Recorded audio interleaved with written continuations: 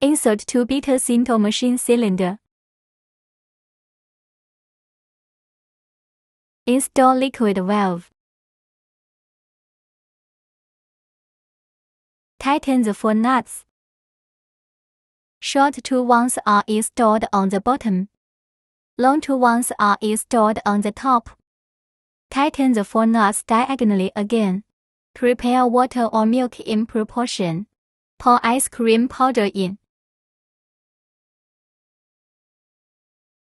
Stir water and powder evenly.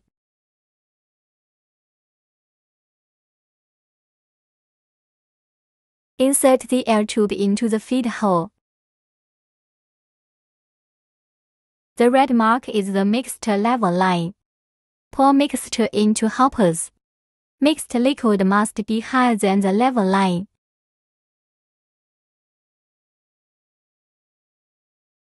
Press wash, stir 2 minutes.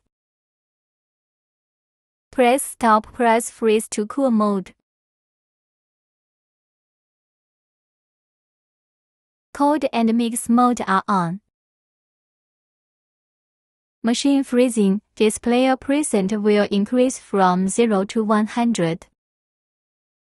Around freeze 15 or 17 minutes display percent go to 100%.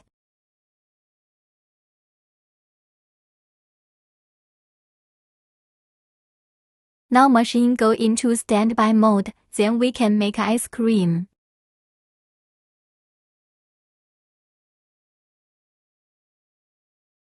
Wow, nice and tasty.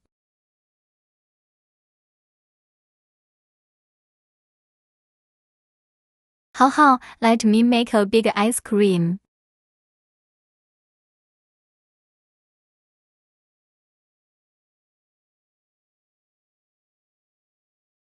Woo!